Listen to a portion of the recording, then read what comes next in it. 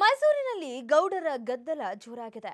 ಜೆಡಿಎಸ್ನ ಚಿಂತನ ಮಂಥನ ಸಭೆಗೆ ಗೈರಾದ ಜಿಟಿ ದೇವೇಗೌಡ, ನಾನು ಜೆಡಿಎಸ್ನಿಂದ ದೂರ ದೂರ ಎಂಬ ಸಂದೇಶ ಸಾರಿದ್ರು. ಇತ್ತ ಮಾಜಿ ಸಿಎಂ ಕುಮಾರಸ್ವಾಮಿ, ನಾವೇ ಜಿಟಿ ದೇವೇಗೌಡರನ್ನ ಬಿಜೆಪಿಗೆ ಧಾರೆ ಎರೆದಿದ್ದೇವೆ ಅಂದ್ರೆ ಅತ್ತ ಮಾಜಿ ಪ್ರಧಾನಿಗಳು ಅವರು ಎಲ್ಲಿಗೆ ಬೇಕಾದರೂ ಹೋಗಲಿ ಅಂದ್ರು.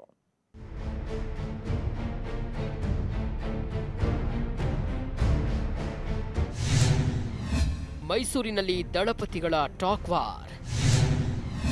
HDK HDD GTD ನಡುವೆ ಫೈಟ್. ಮೈಸೂರಿನಲ್ಲಿ ಇವತ್ತು ಜೆಡಿಎಸ್ ಮುಖಂಡರ ನಡುವೆ ಭರ್ಜರಿ ಟಾಕ್ ವಾರ್ ನಡೆದಿದೆ. ಒಂದು ಕಡೆ ಮಾಜಿ ಸಿಎಂ ಹಾಗೂ ಪಿಎಂ ಮಾಜಿ ಸಚಿವ ಜಿಟಿ ದೇವೇಗೌಡರ ವಿರುದ್ಧ ಲೇವಡಿ ಮಾಡಿದ್ರೆ, ಮತ್ತೊಂದು ಕಡೆ ಜಿಟಿ ದೇವೇಗೌಡರು ಜೆಡಿಎಸ್ ಪಕ್ಷದಲ್ಲಿ ತನ್ನ ಹೇಗೆ ನಡೆಸಿಕೊಂಡ್ರು ಅನ್ನೋದನ್ನ ಎಳೆ ಎಳೆಯಾಗಿ ಬಿಚ್ಚಿಟ್ಟಿದ್ದಾರೆ. ಚಿಂತನ ಮಂಥನ ಸಭೆ ಬಗ್ಗೆ ನನಗೆ ಯಾವುದೇ ಮಾಹಿತಿ ಇರಲಿಲ್ಲ. ಯಾವೊಬ್ಬ ಮುಖಂಡನೂ ನನಗೆ ಆಹ್ವಾನ ಕೊಟ್ಟಿಲ್ಲ ಅಂತ ಗುಡುಗಿದ ಚಿಟಿಡಿ, ಕುಮಾರಸ್ವಾಮಿ ಹಾಗೂ ಮಾಜಿ ಸಚಿವ ಸಾರಾ ಮಹೇಶ್ ವಿರುದ್ಧ ಗುಡುಗಿದರು. ಸಿದ್ದರಾಮಯ್ಯನವ್ರ ಜೊತೆ ಏಯ್ಟಿ ತ್ರೀಯಿಂದ ನಾವು ಅವ್ರ ಜೊತೆ ಹಂಗೆ ಬಂದು, ನಾನು ಯಾವತ್ತೂ ಅವ್ರಿಂದ ನನಗೆ ಐದು ವರ್ಷ ಅವರು ನಾನು ಮುಖ್ಯಮಂತ್ರಿಯಾಗಿ ನಾನು ದ್ವೇಷ ಮಾಡಿದ್ರು. ನಾನು ಒಂದಿನ ಅವ್ರ ಕುಟುಂಬ ದ್ವೇಷ ಮಾಡಲಿಲ್ಲ. ಆದರೆ ರಾಜಕೀಯವಾಗಿ ಅವ್ರು ನಡೆಸ್ಕೊಂಡಂಥ ಕುಮಾರಸ್ವಾಮಿ ಅವರು, ಮಹೇಶ್ ಅವರು ಸೇರ್ಕೊಂಡು ನಡ್ಸ್ಕೊಂಡಂಥ ರೀತಿ, ಜಿಲ್ಲಾ ಉಸ್ತುವಾರಿ ಯಾಕೆ ಕೊಟ್ರಿ ನೀವು? ಮಹೇಶ್ ಅವರು ಹೇಳಬೇಕು ಅಲ್ಲಿ ಕ್ಲಿಯರ್ ಆಗಬೇಕು. ಮುಖ್ಯಮಂತ್ರಿಗಳು ಹೇಳ್ತಾರೆ ಒಂದು ವರ್ಗಾವಣೆ ಮಾಡಿಲ್ಲ ಮಹೇಶ ಅಂತ.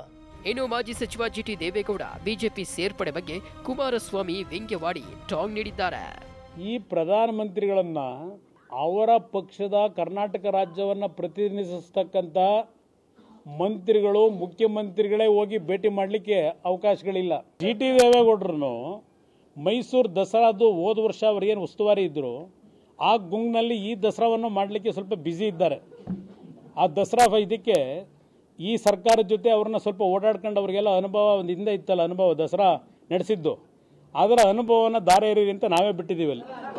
ಆತ ಹುಣಸೂರಿನಲ್ಲಿ ಮಾತನಾಡಿದ ಮಾಜಿ ಪ್ರಧಾನಿ ಎಚ್ ಡಿ ದೇವೇಗೌಡರು ಜಿಟಿಡಿ ವಿರುದ್ಧ ನಿಗಿ ನಿಗಿ ಕೆಂಡ ಕಾರಿದ್ದಾರೆ ಜಿಟಿ ದೇವೇಗೌಡರು ಎಲ್ಲಿಗೆ ಹೋಗಬೇಕು ಹೋಗ್ಲಿ ಬಿಡಿ. ಜಿಟಿಡಿಯನ್ನ ಯಾರು ಹಿಡಿದುಕೊಂಡಿದ್ದಾರೆ ಅಂತ ಹೇಳಿದ್ರು? ಜಿಟಿ ದೇವೇಗೌಡರು ನಾನೇನು ಮಾತಾಡಿದ್ದೀನ? ಅವರು ನಂಗೆ ದೇವರು ಗುರುಗಳೆಲ್ಲ ಅಂದರು. ನಾವು ಗುರು ಅಂತ ತೀರ್ಮಾನ ಈಗ ಗುರುಗಳಿದ್ದಾರೆ ಅವ್ರ ಹತ್ರ ಹೋಗಿ ನಮಸ್ಕಾರ ಮಾಡಲ್ಲ ನಾವು. ನಾನು ದೇವರು ಕೇಳಿದ್ನ. ಯಾಕೆ ಮಾತಾಡಬೇಕು? ಅವ್ರಿಗೆ ಎಲ್ಲಿ ಹೋಗಬೇಕು? ಹೋಗಲಿ ಯಾರು ಹಿಡ್ಕೊಂಡ್ರು? ನನಗೆ ವೈಯಕ್ತಿಕ ವೈಯಕ್ತಿಕವಾಗಿ ನಾನು ಯಾರನ್ನೂ ನಿಂದನೆ ಮಾಡಲ್ಲ. ಮೈಸೂರಿನಲ್ಲಿ ಜೆಡಿಎಸ್ ಪ್ರಬಲ ನಾಯಕನನ್ನ ಕಡೆಗಣಿಸುವ ಮೂಲಕ ತನ್ನ ಅಸ್ತಿತ್ವವನ್ನ ಕಳೆದುಕೊಳ್ಳುವ ಹೊಸ್ತಿಲಲ್ಲಿ ಬಂದು ನಿಂತಿದೆ. ಇದಕ್ಕೆ ಇಂದಿನ ಜೆಡಿಎಸ್ ಸಭೆಗೆ ಬಂದ ಬೆರಳಿಕೆಯಷ್ಟು ಕಾರ್ಯಕರ್ತರು ಹಾಗೂ ಮುಖಂಡರ ಸಂಖ್ಯೆಯೇ ಬೆಸ್ಟ್ ಎಕ್ಸಾಂಪಲ್. ಕ್ಯಾಮ್ರಾಮ್ಯಾನ್ ಮಲ್ಲೇಶ್ ಜೊತೆ ಸುರೇಶ್, ಟಿವಿ ಫೈವ್, ಮೈಸೂರು.